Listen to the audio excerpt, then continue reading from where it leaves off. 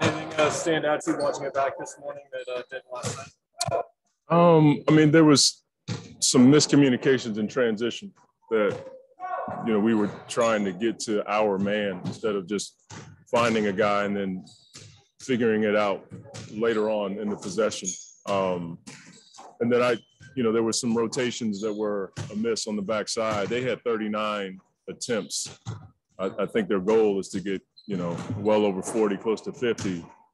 Um, but some we can certainly take out just with transition defense and then just the ability to guard the ball and not have to to help um, is something that's hard against them. But we feel like we can do a, a better job. Is it just that balance overall of just everything that comes together with what they're trying to do with the switches and then penetrating the help, the on ball, the whole package? Really? I, well, I mean, Luka's a guy that can draw attention anyway. He's so doggone big, and he, you know, his arms are longer than you realize. And so even when you're you're going to help, he can pass over top of the help on point, on time, um, right in the shot pocket.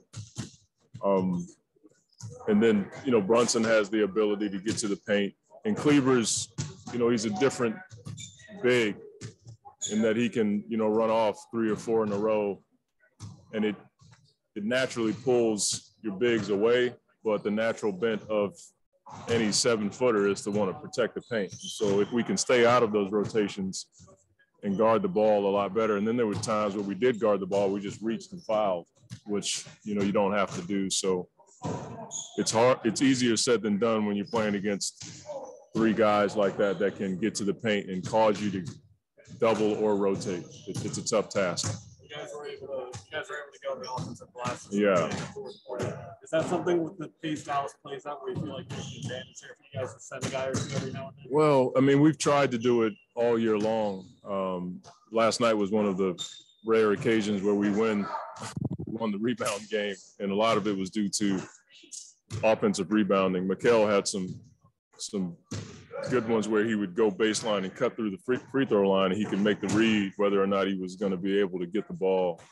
Um, it is certainly something we we want to do, but we don't want to do it to our own detriment in transition. That, that's the somewhat of the give and take with that that kind of play, but if we can, it certainly helps you. You know, we we were plus on the possessions last night, and that was a huge reason why. Yeah. But when you're looking at like switching and how much film were you, did you show uh, of when it worked? Guys took advantage of and how much it didn't work? Yeah, I don't know the ratio, but we showed both. There were times where we we did a, a decent job and they just made a tough shot. And then there were times where the intention was there, we just made the wrong rotation and gave up an open shot. But we try to show both. I think they're, you know, whatever you want to deem it, good and bad. It, it- you can learn from all of it. I think the initial, for us anyway, the initial presentation to the ball and the ability to try to guard it for at least two or three dribbles without having the help allows for our bigs to kind of navigate what's going on. Sometimes when it's a, a direct blow by, the natural bent of a big is to go and help. And then if you have a guy like Kleber in the game, you're you're in rotations. So late in the game, like Brunson was being a pest, like you know, leaving him out, Yeah. trying to get around. Yeah. Uh, was that a matter of him? Basically, because the eye, the knowledge eye is going, that guy's six one, they would be able to get. Yeah, but it, it, you know, the thing that people don't understand is you have to read the game too. And most guys do that to agitate you, and then you react with a strong move and they flop, and now you're hit with a foul. And so I think all bigs are aware of that. And then when there's a smaller guy on DA, it's not like those are the only two that know that. You know, everybody in the gym knows it. And so what people can't see is like you're trying to make that pass, but there's a weak side defender right behind it that everybody's not looking at. They're just looking at DA with a smaller guy. Typically, they know it as well. And there's a weak side defender like standing there waiting for you to make that pass. A lot of the guys kind of seem, lack of a better term, annoyed by the way that they were able to close out the game. Sure. You know, the majority of the game uh, close out like that. The type of thing that this group kind of take that into game as far as like a fire sort of thing? I, I, think possibly. um, one thing you can't lose sight of is that you want a playoff game, but there's there's a certain way that we like to play, and, and we felt like we had decent control of the game. When I went back and, and we went back and looked at the film, we missed a number of bunnies around the basket. We missed a few open shots. And then the transition defense component kind of added to that. But to your point, I think that that funky feeling that we had at the end, you know, could generate a bit of let's get back out there because it we don't feel like we lost, but we certainly didn't feel like we finished the way that we should have. Say that again. philosophically coming into the series, were you guys trying to avoid switching as much as possible, or is that something you're willing to go through? Like, how did you kind of navigate that? Yeah, we're not we're not trying to avoid it. Um, in a perfect world, you don't necessarily want to get into the the switching with a big on to guys who can put the ball down. Um, it's not a perfect scenario, but we're not afraid of it just because we feel like our bigs are athletic enough to contest shots without fouling. Um, I think the early switches for any NBA team is something you try to avoid. If it's a late clock situation, it's it, it's probably a better place for you to be in. Is it Utah, or is it? Why do you think Dallas is so successful? Kind of over the years, we've seen them almost force teams to play that way. Why are they so good at forcing? That? I mean, I, I don't know. I mean, you're giving me a lot of credit.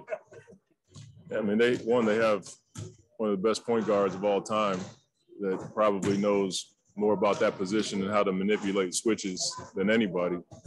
And then they have three guys that force you, you know, with their ability to get down the lane. Sometimes you end up in a, a late situation. But I, I think they do a, a, really good job of getting the matchup that they feel like they want. Um, most teams do that. That's not something that's new to the NBA. Monty, to your point, it seemed like Cam and Chris were the two guys they were looking at the most. You guys just have good defenders. Like there's no like Cam and Chris are very good defenders. So how have you seen them step up and just all the guys on the team kind of step up and yeah. almost take it personally when they're when they're that guy? I think that's something that every NBA player um, relishes. You know, when you feel like a team is going at you like that, you you want to prove them wrong. Um, I thought we did a decent job. There were times where we reached when we had them in a decent spot to shoot a tough two where we didn't need to. But we don't we don't feel like we have any weak defenders on our team. They may teams may choose to put a certain guy in a, a play, but we're pretty confident with not just the guys on the ball, but the defense around it. I think is probably just as important. Um, but they have guys that can break you down for sure. I mean, they're they did it to Utah for a whole series, and that's something that they're really good at. Yeah. Um, see enough of that. Let's, let's, let's see what can rule the foul, not a foul. I thought it was like a gauge. Yeah. Gauge. Well, I think Mikal had his his fourth so that was mostly the, the reason why. Like that's one of those situations where if you can avoid one of your main high minute guys from getting a, a fourth or fifth foul, you just try. Um, when we looked at it, it, it you know, it could have gone either way. You know, I got to be careful what I even say. You know what I mean? It's like, yeah, that's all I'm saying. That's it. I'm done. Is that right? Yeah, you can tell man, right here. I didn't have this, but coming down the escalator. I mean, didn't even know it. You know, I'm so locked in on when it comes to the Suns, just doing my job, and my family's been here for three years now and, and just been so blessed to live in this city, the school systems my kids are in, the memories they've made in such a short period of time. And, and the basketball part has been uh, pretty cool. So I had no clue that we've been here that long. And uh, we do feel like we're uh, Valley residents now, even though I go back to Texas in the summertime to fish and goof around with my deer. Uh, this this is my home, and um, I'm I'm glad to call the Valley my my place of residence. But I had no clue, uh, just wasn't thinking that way. Uh?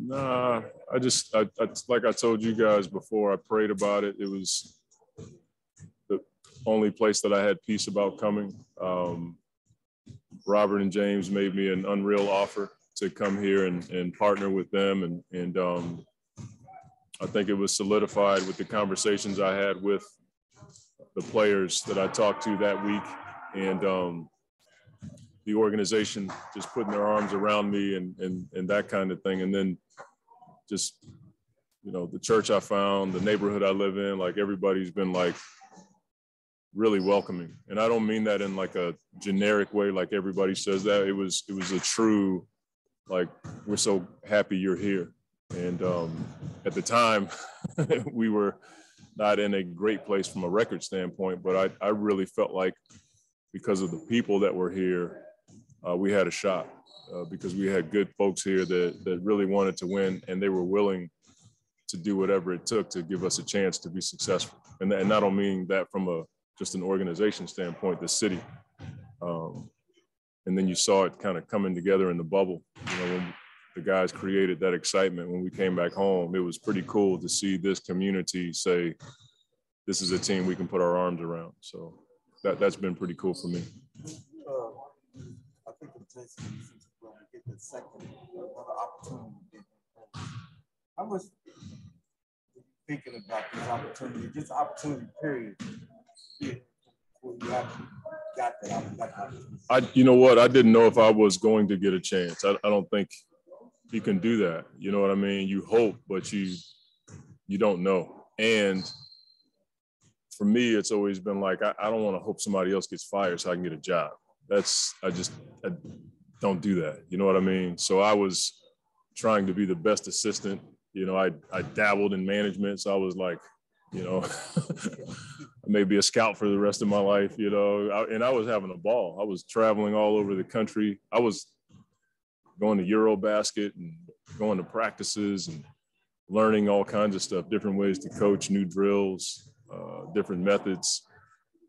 Had no idea that I would end up in Phoenix because, in my opinion, I think you just do the best job where you are. And um, I was blessed to be able to be in management and then become an assistant. And then when the opportunity came, I was like, okay, this is something that I can now look forward to. Say that again. If I don't have to wear a suit and tie again for the rest of my life, except for my kids' weddings and graduations, I'll be fine. Well, Just- you can answer this already, let me know, but um, as you guys go deeper into the playoffs, just do you feel a sense of energy, like the crowd just getting more and more into it as you guys get deeper into I think so. Um, when I come out, you know, I come through the tunnel, I can get a sense of the electricity in the arena, and it seems to like heighten every game. Um, and it's probably for me the only place where I do feel it because I'm in a bit of a triangle during the day where I just, you know, from here, home, church, and that's about it. My kids' games. So that's not a triangle, it's actually a square.